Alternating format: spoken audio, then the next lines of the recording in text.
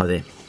Today I'm going to show you a great puzzle and also give you the solution. And the question in the puzzle is how many times do the hands on a clock make right angles in a 24 hour day? And by the hands, I mean the obviously the hour hand and minute hand, how many times they make right angles in a 24 hour day.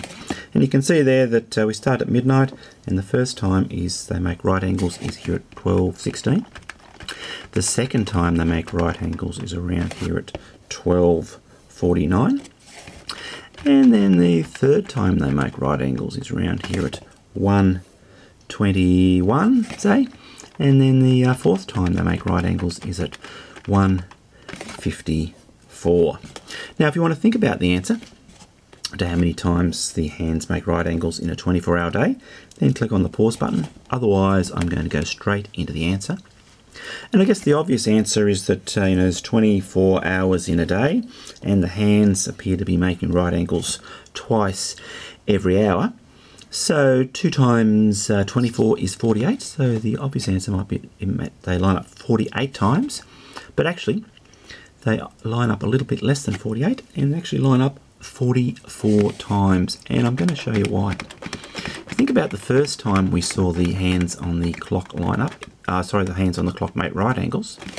It was at 12.16 and the next time they made right angles it was actually at 12.49 so it wasn't exactly half an hour on it was actually about 32 or 33 minutes on that they made right angles the second time and then the third time they made right angles round was around here at 121 and that also was around about 32 or 33 minutes on.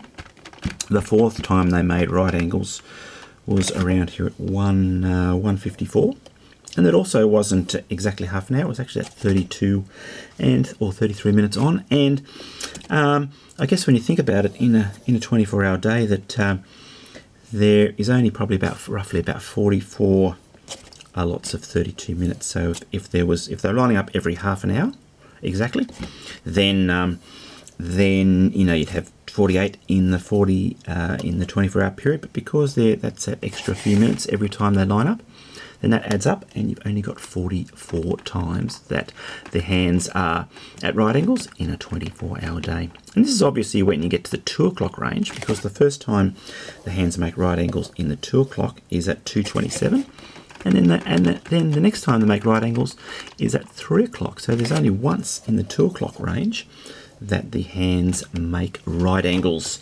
And I've done this uh, simple little grid, so I go through every every combination because um, it probably take too long. And simple little grid that shows um, all the times that the hands make right angles in the uh, in the first 12 hours and then in the second 12 hours. And if you think about it, uh, all the other ones I've showed you, 1216, 1249, 121, 154, and 227 and 3. And you can see there that the, the, uh, the times are advancing on around 32 or 30, 33 minutes every time to uh, when they make right angles. And I guess it's obviously in the 2 range because uh, in the 2 o'clocks, then the hands only um, make right angles once in the 2 o'clock, both in the morning and in night. And also down here in the 8 o'clocks, that the uh, hands only make right angles once in the 8 o'clocks, twice in the 7s, twice in the 9, same in the evening, but only once in the 8 o'clocks.